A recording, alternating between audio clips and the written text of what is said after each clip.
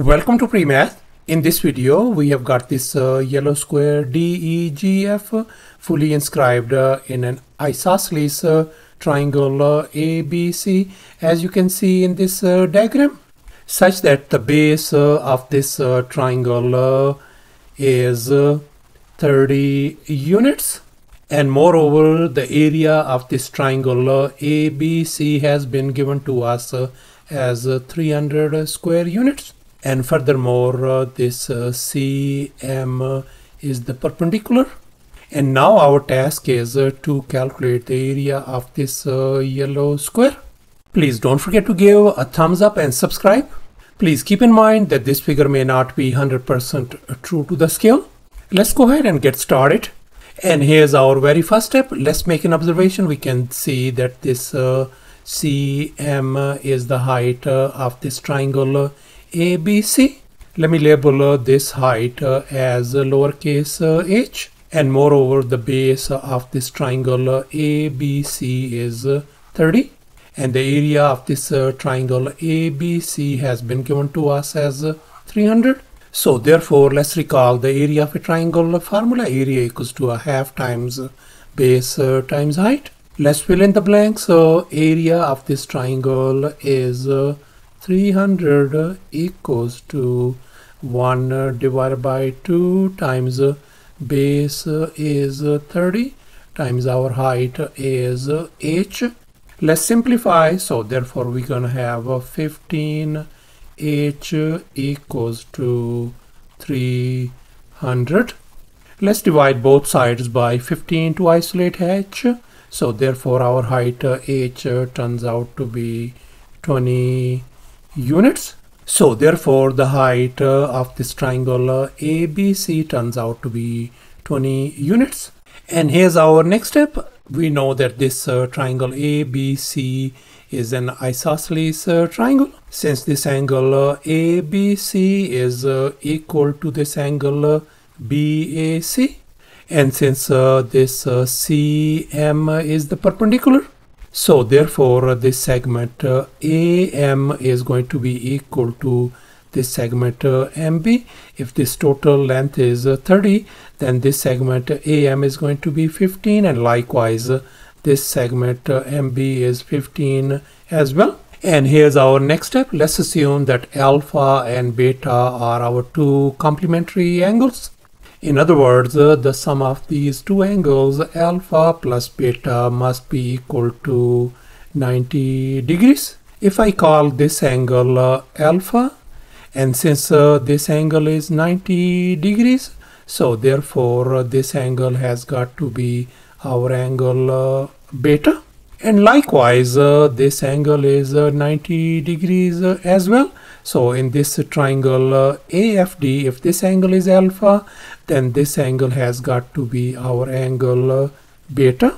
And now we can see that this angle is alpha, then this angle has got to be alpha as well.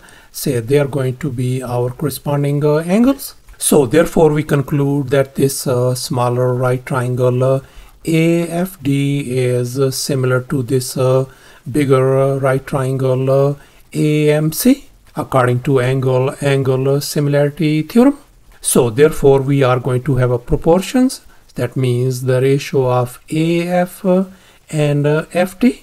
Let me write it down AF divided by FD is going to be equal to the ratio of AM and MC let me write it down uh, am divided by mc and now we can see our uh, am length uh, is uh, 15 and our mc length uh, is uh, 20 so therefore i can write af divided by fd is going to be equal to 15 divided by 20 and now we can see 15 and 20 could be reduced to 3 and 4 so therefore uh, AF divided by FD is going to be a ratio of uh, 3 and 4 so therefore uh, we are going to have AF equals to 3 times some constant k and uh, fd is going to be 4 times some constant k and now our task is to find the value of this constant k so therefore our this segment uh, af turns out to be 3k and this uh, segment uh, fd turns out to be 4k and since we are dealing with this uh, square DEGF the side length of this square is 4k so therefore this side length is going to be 4k 4k and uh, 4k across the board. And now let's make an observation. We can see this uh, CM is the perpendicular.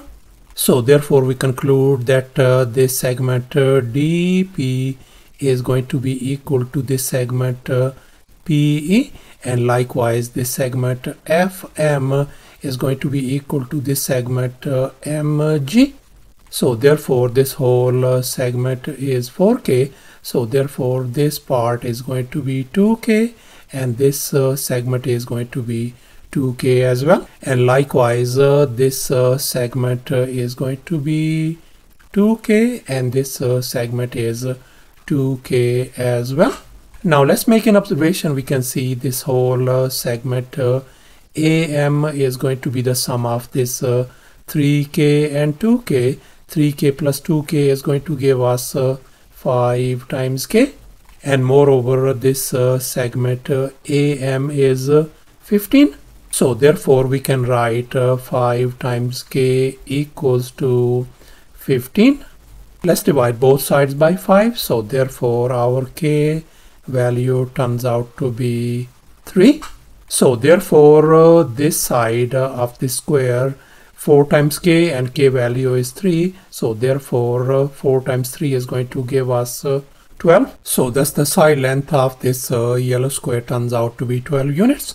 And here's our final step. Let's go ahead and calculate the area of this uh, yellow square DEGF and now let's recall the area of a square formula area equal to s square where s represents the side length uh, of the square.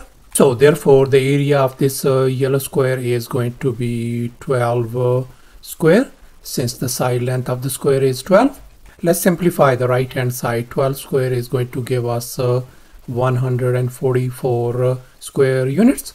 So thus the area of this uh, yellow square DEGF turns out to be 144 uh, square units. And that's our final uh, answer. Thanks for watching and please don't forget to subscribe to my channel for more exciting videos. Bye.